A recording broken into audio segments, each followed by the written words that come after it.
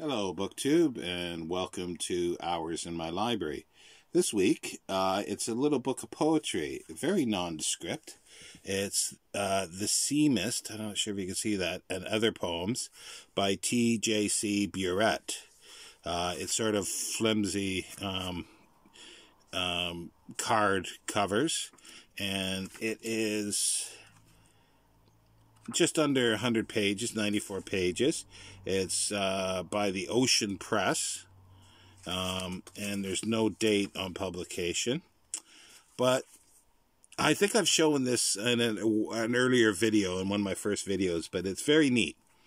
And uh, the reason why I'm showing this is because of the association. And uh, the question is, what does this book have tangentially related and connected to Peter O'Toole, the actor? Well, we'll see. There is an inscription by the author, by T.J.C. Buret, uh, from Christmas um,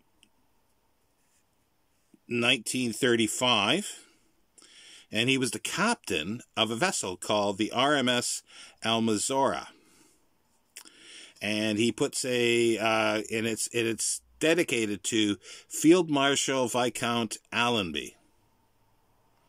We're getting closer to sort of the uh, Peter O'Toole there, but he he um, he, he has a, a, quote in French from uh, Metternich, uh, philosopher, French philosopher, and you can see the inscription there.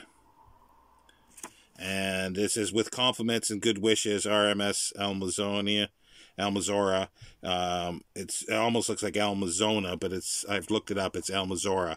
Uh, it's uh, it's a mail ship, and this is Christmas 1935. And Field Marshal Viscount Allenby led uh, while he was in the uh, Second Boer War, I think it was, uh, as well as First World War, and he was head of the Egyptian Expeditionary Force and in Palestine. And we're getting closer here because he he sent T. E. Lawrence, Lawrence of Arabia, uh, into with the Arabs in order to do what he did. um, and uh, so we do get to Peter O'Toole because Peter O'Toole played T. Lawrence in Lawrence of Arabia, uh, David Lean uh, production. So tangentially uh, connected, but uh, I can't at this point prove this is accurate. Uh, this is an authentic inscription, but I, I, have no reason to doubt it. But I have no actual provenance. I do know that um, Allenby died in May 1936 uh, and in 1935, he went to South America on, well, on a ship uh, for his health, I think to do some hunting or something like that. Uh, and he did come back around Christmas time on this ship. So, um, and it, it's a collection of poetry, and this was given, uh, well, it was it was by the captain who was the poet, and there are a bunch of sea poems, as well as a couple Christmas poems at the end. Um, they're not they're not fabulous poems, but they're kind of interesting. I cannot find this book listed anywhere on the internet. Um, I do see his name come up as um, an officer on other ships uh, at at some time. The Almanzora uh, was uh, recommissioned in 1939 to for the uh, Second World War. Um, but yeah, this is just a neat little connection uh, with everything, and it would be nice to be able to actually verify that this was Allenby's. It was given to Allenby.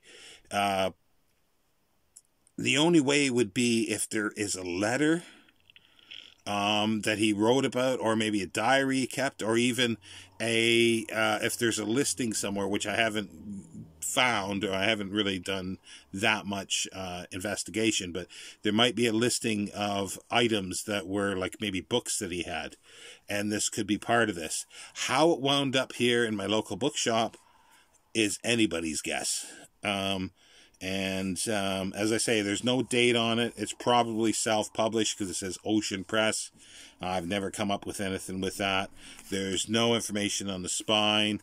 Um, and it's just as 94 pages like there's christmas card 1930 31 and 32 um, and the other poems are about the sea so there we go there is a uh, book for this week's hours in my library i will see you next time BookTube